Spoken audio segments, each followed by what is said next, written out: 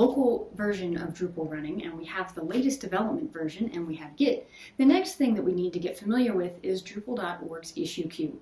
This is where the community talks about all of the work that's going on with uh, Drupal.org and the Drupal code. So if we want to get involved with the code, we need to go where the conversation is. This lesson is going to walk you through the basics of what is the issue queue and how to use it. So we're going to go back to the ladder and we're going to move ourselves up to the getting started in the issue queue lesson. And when we get here, there's a lot of information, but I want to start off by looking at the prerequisites up here at the top. And uh, it's we're going to test an issue that we create. So um, there's a Drupal 8 sandbox that has a bug in it. And if you click there, you'll see that you can get to the git clone uh, command that you need to get a copy of that. And then you need to set that up on your local uh, web server, which you've set up in previous lessons. So this is my Drupal ladder sandbox, uh, which is from that particular uh, sandbox there. So, um, so first you need to make sure you have that set up and ready to go, and I already have that done. And then uh, what we're going to be doing is going through and uh, talking a little bit about uh, looking at the issue queue, what that means, and then we're going to create our own issue. You'll notice there's also this resource here, which is uh, linked to some documentation just about how to actually issue, make an issue. So um, this is uh, there's a lot of documentation for double checking, and this video is just going to kind of run through the steps um, with a little bit of background. Uh, I'm going to go to my dashboard and there's a bunch of uh, queues over here. Um, this is for Drupal core. So I'm just going to go into one of these just so we can look at what the issue queue looks like. Get a little orientation here. So when you go into uh, an issue queue with the search options, you'll see we have things like status. So the open ones are needing work, needing review. There's also a variety of closed statuses. So this is sort of, you know, where where is this thing right now? Priority, critical, major, normal, or minor. So, how important is the issue in terms of getting it done? Um, the category, so bug report, task, feature support, these are all um, in every issue, regardless of the project. Uh, there's a version number so that you make sure you're lodging against the right version number. Components with core, all of the different core components are there, but each project can define its own components. So uh, in contrib, you'll find quite a different component list. Then uh, we also have issue tags. So uh, you can also sort by a, a, particular tag on an issue. And so like novice uh, is a particular one which is handy to have. So you can just restrict everything to novice. Um, so let's move down and actually look at some issues here. Um, and you'll notice, so we have some col columns that are going on. Uh, there's the, you know, the title of it, the status. The status is also indicated by the color. So you'll see the top one is active, which is gray. Needs review is yellow. Needs work is pink. Uh, reviewed and tested by the community is green. Uh, so you have this overview that gives you some basic information about what's going on with the issue at the time getting uh, familiar with what these different terms are and how they're used is a key part to learning how to really use the issue queue. And as I said, there's a lot of documentation about this, and just going in and using the queues, um, you'll get very familiar with, with what various things are meaning here. So let's go back to our lesson here, and we're going to come down and look at what we're going to what we're going to actually walk through. We're going to create an issue and then we're going to leave a comment and then we're going to update the summary on it. And so to start things off, we need to go create an issue. So we're going to create an issue in the sandbox project, um, which has been specifically created for these lessons here. And so we go in here and you can see here's an issue queue that I've gotten to from a direct link. But I want to show you how you can get to that from a project page as well. So I'm going to go to the actual project page, like a module or a theme. This is just a sandbox, but it's still a project. Um, and in the sidebar, there's issues. And if you click on the advanced search, I recommend that because you should search before you create issues every time.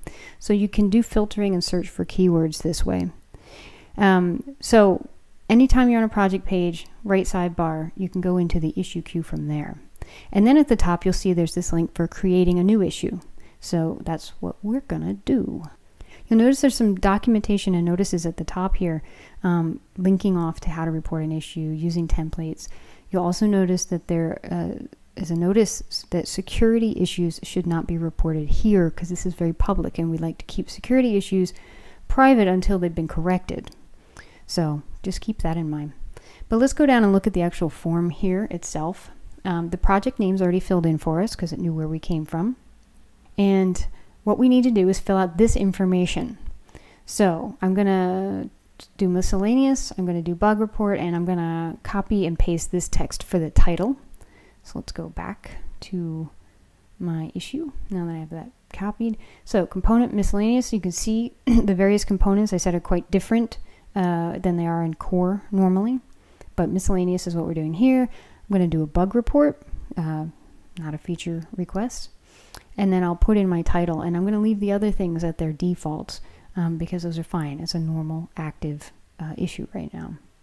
And then I need to do my description and I'm going to go back to my um, lesson here and just copy and paste this as well. So we'll take that text, copy that, come back, paste. Oh, Rama. You'll notice um, that, uh, so this is written out with a little explanation. It shows the current situation.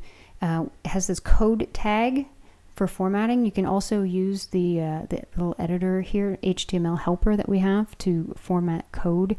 Um, you'll see what this looks like once we submit this, this issue, um, just to make it sort of stand out and that this is what's in the page. Uh, and then there's also a proposal for a solution. And we'll go down and just save the issue. So we just gave it a title, we gave it a description, we explained what was going on, and then we'll just go ahead and save the issue. So that's creating a new issue. Uh, it's now in the issue queue, and you can see that we have uh, the title and we have uh, the all the things that we selected are, are sort of in a box at the top, and then we have our description is in the issue summary, and you can see how the code tag made that text stand out. So now that we have the issue created, let's go back to our lesson instructions here. And what it wants us to do now is actually confirm the bug and leave a comment, which is why we got the sandbox site set up that has the bug in it so that we can go find it. So I'm going to go back to my sandbox and uh, this is um, some text that's at the node add star whatever. Um, so this is when you add content. This is adding a new node. So I'm going to go to add content and I'll just click article. It doesn't matter which one I pick. And you can see in the URL this is node add something. Um, but they didn't have the instructions for the steps to get there without just typing it into the URL. Um, so if I scroll down to the bottom here, uh, then I can click on URL path settings, and uh, and this is where I could type in in the URL alias, and this is where the instructions are. Now I'm going to take a screenshot of this. I use uh, an application called Skitch. Um, so and uh, so I took a screenshot because I've I've found it and I've seen it. Uh, make it a little smaller here and I'll just grab a box to kind of highlight it. You can use whatever screenshot thing if you want. If you if you have one, if you don't, that's okay. But um, it's really really handy thing to use with issues so people can see what you're talking about. So I'm gonna just I'll go ahead and put this on my desktop so that I can use that uh, later. Um, and now what I want to do is actually leave a comment. So I've gone through and I've seen what they're talking about um, although I think I could probably improve a little bit. So uh, I'm going to go down here underneath the issue and leave a comment. And you notice I can change uh, any of these settings on here. Um, so you can change them, but you should obviously only change them if it's a meaningful change. Um, I don't need to change any of the statuses here. Uh, I just uh, want to leave my, my comment. So I'm going to basically put some text in here that just says, yep, I got you. Uh, that makes sense. And I also want to just add those further instructions because it might make it easier for other people to find it. So the other thing I want to do here is add that screenshot that I took. Um, and so if we go down here to the file attachments, I can find uh, the image that I took and go ahead and attach that. And uh, you'll notice it's, it's listed here. So it's going to be part of the issue if I just saved it right now.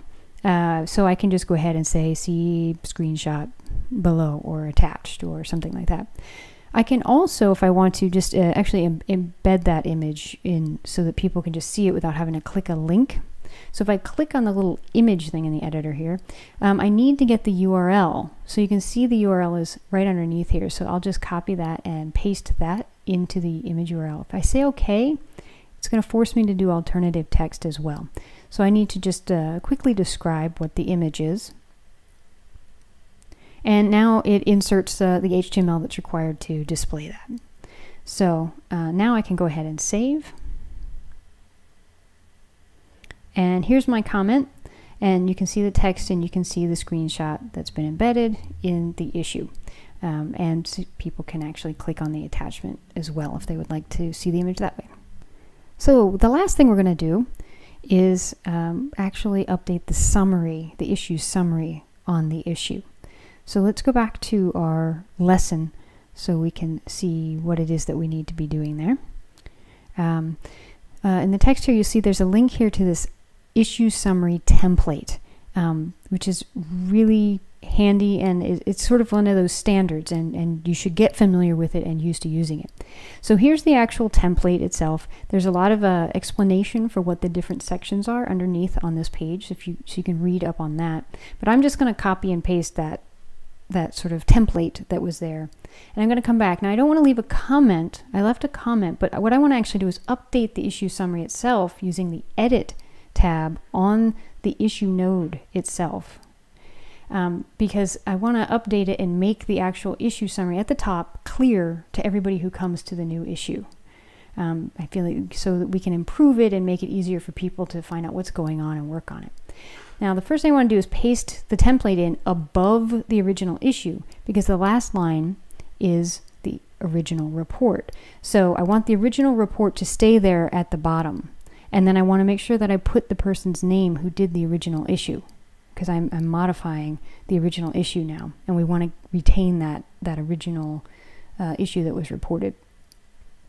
So once I've done that and I have that that part of it done, I need to go through each of the lines here and update the text that's on there. So I'm just going to paste some some text in here so you don't have to watch me type, um, and then I can just save that. Now, when I do that, you'll notice I'm editing the actual node and I'm getting that I'm required to actually leave a revision log message on this. So I'll go ahead and, uh, and just leave that real quickly. If you have something specific, like I'm updating blah, blah, blah about it, um, you should put that in there.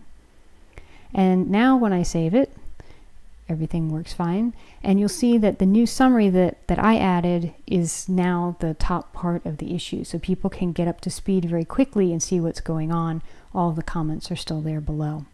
Um, but this is a great way to help out in the issue queue, to keep things moving along for people. Um, so that's a brief introduction to the issue queue. Um, you should go in and start working in it and playing in it and uh, get really familiar with it because this is the main tool that our community uses.